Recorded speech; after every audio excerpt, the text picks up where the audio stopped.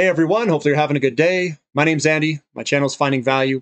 Uh, today, I'm going to do our daily technical analysis update of oil and natural gas. Uh, again, these are some of my favorite sectors. Uh, energy in general is my favorite sectors at the moment. Uh, that includes uranium, natural gas, oil, uh, and even coal. So, looking at this, we'll dive in here. Uh, I'll give you my opinion. It is just my financial opinion. Please do your own due diligence. Make sure everything's right for you if you decide to enter any of these. And uh, again, it's just my opinion. I am holding these long term. I'm not trading it out, just to give you an FYI. So, looking at light crude oil futures, we've got this big wick at the top. You know, we broke $100 and we came back down to 93. Massive volatility. Uh, what this is signaling to me is that it wants the market wants to go lower, even though they they bought this up pre-market and pushed it higher. Um, I do think we may have a little bit of a pullback, but it's dangerous because you've got all this news, all this volatility, all these things going on. And whenever that kicks up like that, you know what I do? I don't do anything. I don't do anything. I just sit on my hands and I buy what's undervalued. And at the time right now, I'm buying uranium um, because it's undervalued and it looks really good. The oil companies and natural gas companies, they've been on a tear. So it doesn't mean I want to sell them, but this doesn't look good for a, a move when you have war and it can't even break out of this pattern. So uh, I would be I would be holding on to my shares, but I probably wouldn't be buying at this moment in some of these companies. Uh, natural gas a little bit down today, down basically a flat day. Um, just a flat day with the wick at the top. It looks like it's getting a little toppy, like we want to pull back a little bit. Um, and again, guys, I, the short term's the hardest ones to read. We've got lots of volatility. Lots of people are scared. I, and I don't do anything. I, I, just I just hold on. The, the structural underlying pinnings of, of the oil market is absolutely fantastic. We're running out of inventory. Everything looks bullish. There's no way I would be a seller here. Um, but on some of these, I don't know if I'd be a buyer either. So it's you know we've had a we've had a good run. We're right at support. Or I mean resistance. This white line's resistance here. We're trying to break out of it. Um, that's what this top is here. We got a top there, hit here, hit here. We're playing around with it. Will this pull back or will we go up? We do have a bearish engulfing right here on decent volume. Uh, usually that means that we want to get we want to head lower. Uh, we've got all this news. We've got the the war thing going on. Um, lots of lots of stuff. I think we will head lower before we go higher. That's my kind of inclination on what I'm seeing here with this big uh, bullish engulfing pattern right there. Uh, so I, I I am looking at that, but you know what? I wouldn't be surprised if we go higher. So it's whenever whenever we get kind of mixed readings, we I mean we've got bullishness all through this section here. We've got one bearish engulfing pattern. Um, difficult read. I, I don't. I, that's why I'm not going to sell anything. SM Energy, uh, it's coming to the tip of this pattern. If they release earnings, you're probably going to see a big move to the upside if they if they do well. I think they're releasing today. Every time I look to see when they're releasing, uh, it's almost like the the company changes. It's like the 23rd, the 24th, or the 25th. Uh, I, so I, I don't know. Oh, it looks like they released. Uh, oh, ooh, whoa! They blew out the surprise. Uh, actual is 1.14 on an estimate of 0.77. Um, this thing is probably going to launch. Um, uh, oh, it's down. Uh, post market down 3.36. We'll see. But it looks like they beat earnings. I don't know what they said in it uh, but looks like they did release some earnings. Uh, CDEV moving on up. Uh, I think we're going to move on up with CDEV. Nice, good volume today. They did have an earnings release, uh, so that one's looking good. Crew Energy, it's right at support. Again, guys, I, I like Crew Energy. If if there was one I was going to buy, I would probably buy Crew Energy in this 250-ish mark, right where we're at in this support. Uh, that's kind of the one I would buy if I if I had to buy one. Uh, Callon Petroleum looks like it released earnings uh, yesterday or something like that, but it's right at support, looking okay. Uh, Athabasca Oil, this is one that I said could potentially get to about a buck. Uh, was that a buck 68, buck 65? Looks like we put a little wick at the top. We'll see if we come back down or if we continue higher. Looks like they released earnings here uh, in uh, March uh, 2nd is when they release earnings. Recaf uh, getting a little bit of an up day. Hopefully, we can get some momentum to the upside. That this is a bullish, piercing uh, reversal pattern to move on up. Let's hope hope that. Uh, CPG right at the tip here. Uh, we'll see which way it goes. This is a hammer pattern. It opened up lower and momentum's coming back up. Uh, we'll, we'll see what happens there. Uh, Nog, no, another bullish hammer pattern to potentially move on up. It is a slight up day today. GTE uh, continues to move higher. Nice, good move in GTE, Gran Tierra Energy.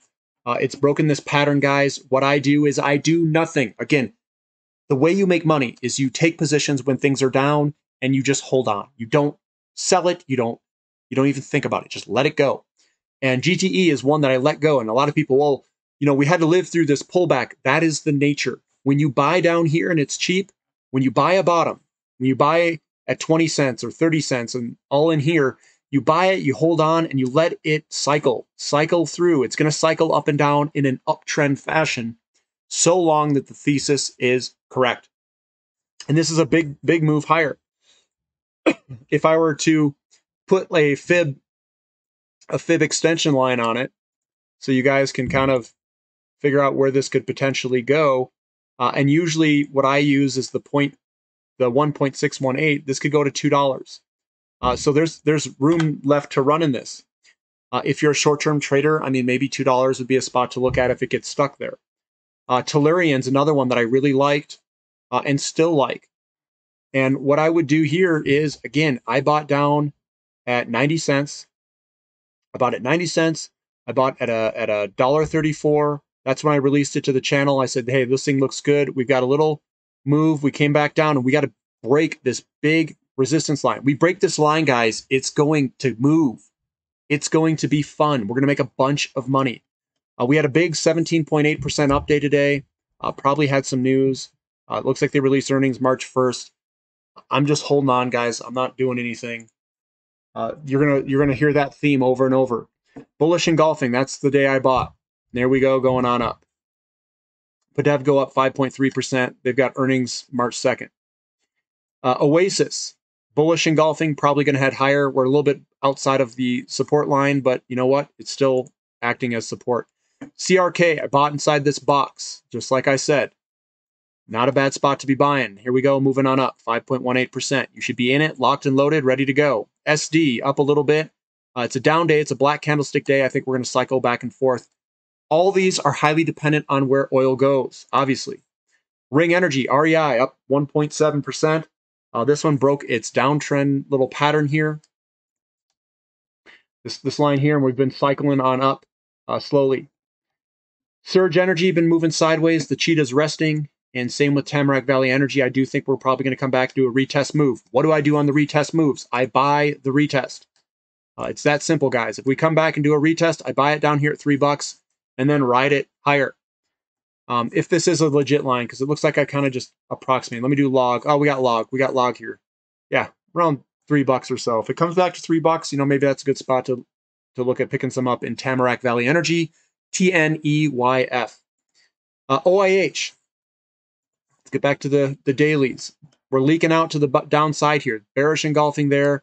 We got some buying pressure today. That's what the wick is on the bottom. We we opened up, came down, and then came back up. So it opened at the top one, closed here, and had the wick. I wouldn't be doing anything. Bullish hammer pattern, uh, kind of a big up day in TTI. Looks like we're kind of breaking this little pattern here. Uh, we got to close above it again uh, for it to be legit. Uh, Transocean just been moving sideways. I still like it. Uh, pump got got smoked yesterday, but was pumped up today.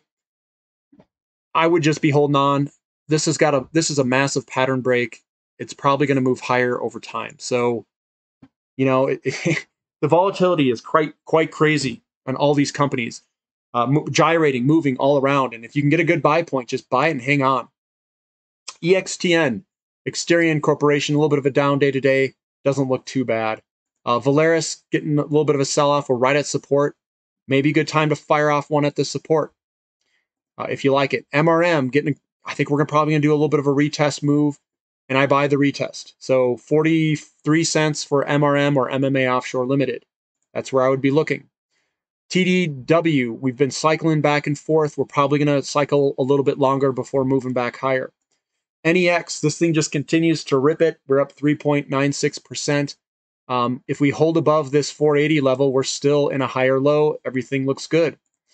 Uh, CHX, again, we're right at support down here. I can see it without the line even popping up. Uh, this would be another one to be looking at if you like CHX. WHD, we're right at this resistance support line, and we're right there uh, holding right above it. OII, small little down day. Are we going to break lower on this on a rising wedge? We'll see. We're right at, right at, right at uh, resistance as well on this long-term resistance line for OII. Noble Energy, I still think we're going higher. Uh, we're right there at that support line.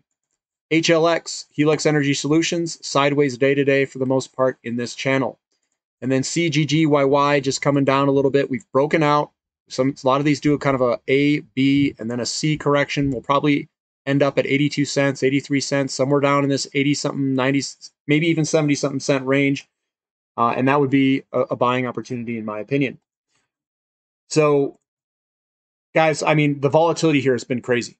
It's been crazy in in all this stuff. Uh, I do think that uh, I'm not going to do anything. If I were to be a buyer in any of these, I would choose uh, Crew Energy. I like Crew Energy. They've got a big land package up there. I think they're undervalued. Uh, I think they have strong growth ahead of them. I like the company quite a bit.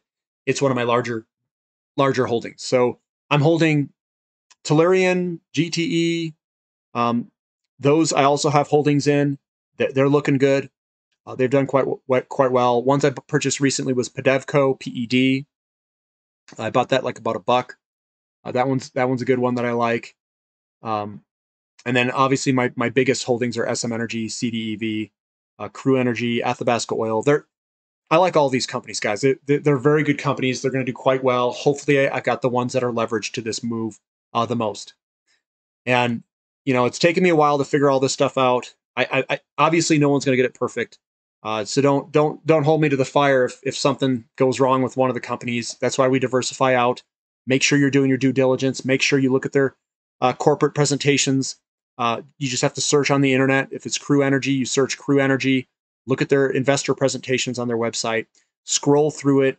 Um, it, it looks pretty compelling to me uh, that they've got their debt under control. They're growing rapidly. They've got lots of drill, uh, successful drills, uh, drill holes and stuff. It, it, it's looking quite good. Uh, if you guys like the content, give me a thumbs up. Subscribe to the channel if you haven't already. Uh, and thank you for listening. This is Finding Value.